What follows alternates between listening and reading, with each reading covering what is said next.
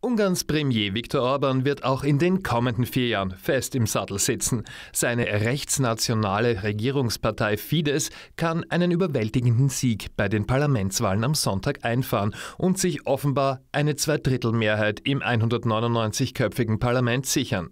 Die Oppositionsallianz in Einheit für Ungarn erleidet eine schwere Wahlniederlage.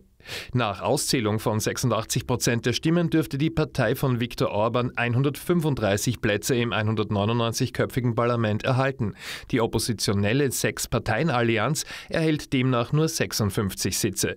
Selbst Spitzenkandidat Peter Markisai schafft in seinem eigenen Wahlkreis kein Mandat. Der Liberal-Konservative führt seit 2018 seine Heimatstadt als Bürgermeister. In diesem Wahlkreis tritt er auch als Kandidat an.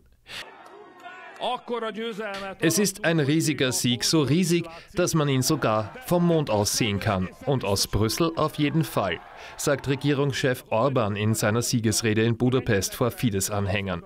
Wir werden die Unabhängigkeit und Freiheit Ungarns, seinen Frieden und seine Sicherheit beschützen, betont der seit 2010 ununterbrochen regierende Ministerpräsident, der nun vor seiner fünften Amtszeit steht. Die Opposition, die erstmals geschlossen gegen Orban angetreten ist, ist, zeigt sich schwer enttäuscht.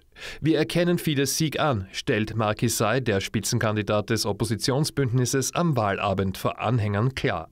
Wir wussten im Vorhinein, dass das ein sehr ungleicher Kampf sein würde, so der Oppositionsführer. Wir bestreiten allerdings, dass diese Wahl demokratisch und frei gewesen wäre. Fidesz hat nur aufgrund dieses Systems gesiegt, beklagt er. Zuvor war eher ein Wahlsieg von Fidesz ohne erneute Zweidrittelmehrheit erwartet worden. Eine Umfrage des Instituts Median knapp vor der Wahl hat 121 Parlamentssitze für Fidesz und 77 für das Oppositionsbündnis prognostiziert. Alles in allem ist der Sieg Orbans keine große Überraschung. Immerhin hat er das Land in den vergangenen zwölf Jahren an den Rand der Rechtsstaatlichkeit getrieben. Verfassungsrichter sind entmachtet worden, das Wahlgesetz hat man zugunsten von Orbans Großpartei Fidesz geändert und Medien ist eine Aufsichtsbehörde übergestülpt worden, beziehungsweise gehören sie engen Freunden des Regierungschefs.